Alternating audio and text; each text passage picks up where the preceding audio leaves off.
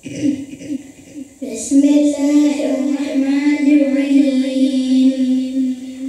القارية ما القارية وما أدراك ما القارية يوم يكون الناس كالفراش المبثوث.